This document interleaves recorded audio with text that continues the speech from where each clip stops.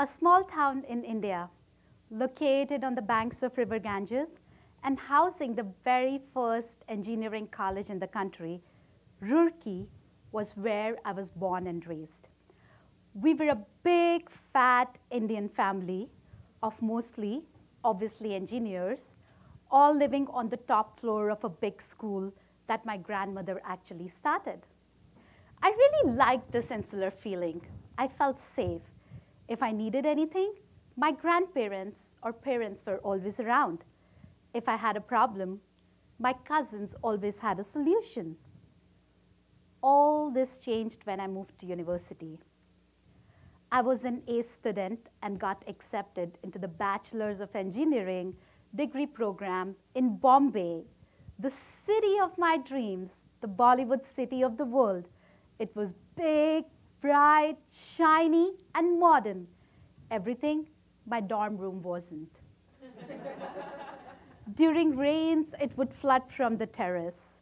Fungus that looked like cotton balls covered the floor no matter how much I cleaned it. Power outages were the norm, and I had to spend most of my nights studying under the candlelight. We also had water shortages, and I had to cut 10 to 15 gallons of water up five flights of stairs all by myself. I was young and energetic and had the desire to be something. A little water was not going to stop me because engineering meant everything to me. Being a top student meant even more. So when I failed my first year, my world came tumbling down. Failure was a big blow for me. I failed my studies, the only thing I took pride in. I had no idea how I would face the society.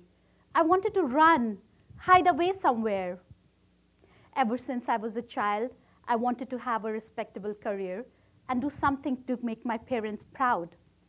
After the failure, I doubted if I was intelligent enough to pursue higher studies and become an engineer. What's worse, I was being ragged.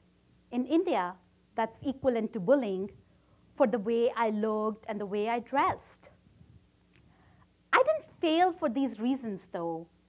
I failed because I was lonely, away from my family for the very first time. I was 18, shy, a true introvert. I just didn't fit into that new modern system. I wanted to drop out. And I never understood why my fellow classmates were wasting their life dancing in a discos when I wanted to sit and meditate. but during one of those meditations, an inner voice told me that if I drop out at this stage, then I will be termed a failure all my life. Cognitive studies researcher Xiaodong Lin-Siegler examines failure. She says that failure gives people a chance to regroup and rewind the clock. In a recent study, she encourages her students to look at failure as a normal process of learning. Others, like Carol Dweck from Stanford, who studies mindset, says that failure is necessary for growth. This concept resonates with me. Failure is momentary and does not define us. I gathered all my courage, tried again, successfully finished my bachelor's degree, and landed a job right after. In 2004, I moved to US after having an arranged marriage and landed in Arizona. I had learned a lot of wonderful things about the higher studies in the United States of America. And so I enrolled in Arizona State University. And because I loved studying and going to college so much, I ended up doing not one, but two master's degrees in engineering. so while I was deep in my studies, being a dutiful wife and working corporate full time, I was also deep in the cookie jar. I was hyped on caffeine, and my main food groups were pizza and pasta. I tell people I was essentially living my American dream. Suddenly, I was 30 pounds overweight. As you can see, I'm barely five feet tall, so those pounds had nowhere to go but out. Any regular person would join a gym and hire a health coach. My solution was to find my way to health. And so I joined a diploma program in personal training and holistic nutrition. While I was in the program, my father, who lives in India, had a massive heart attack.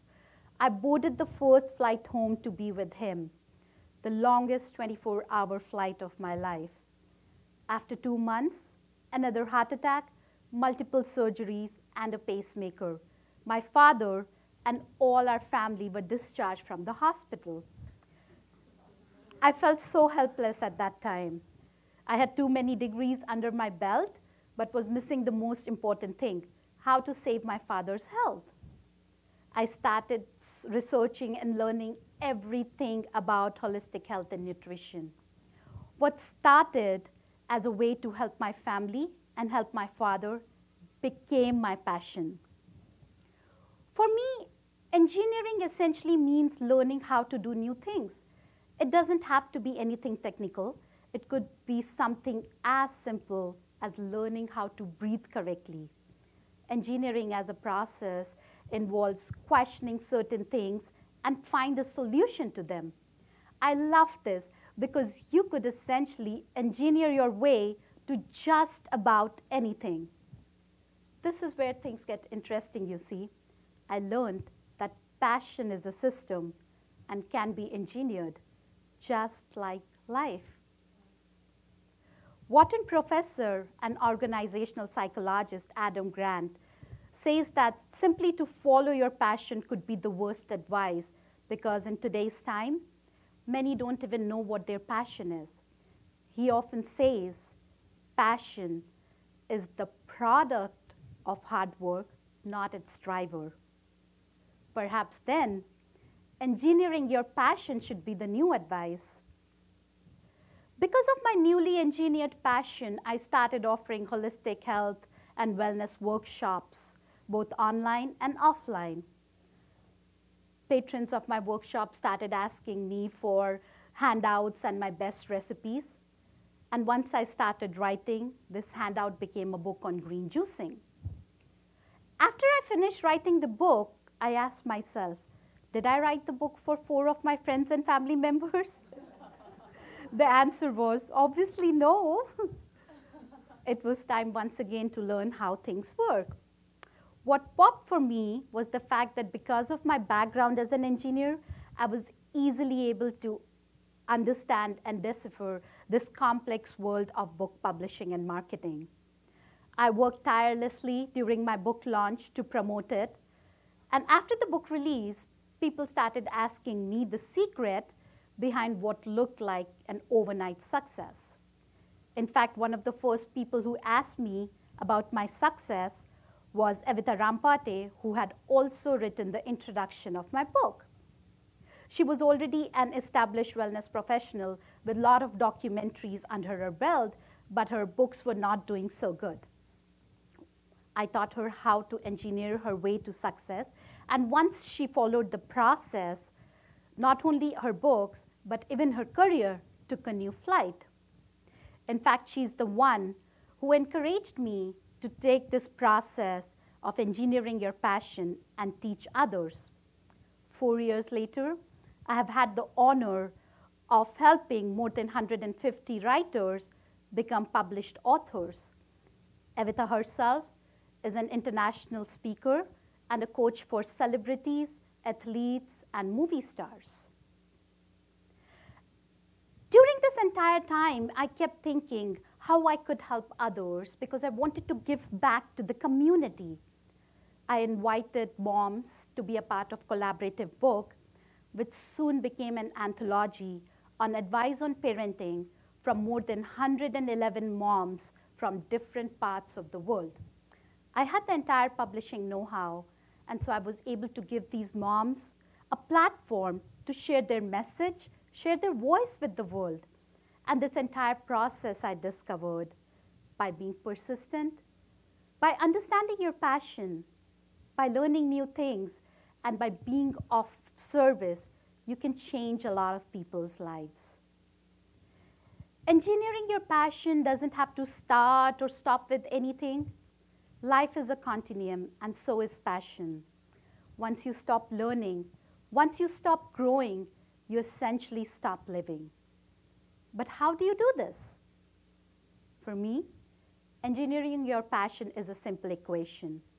Mind plus body multiplied by soul is equal to passion.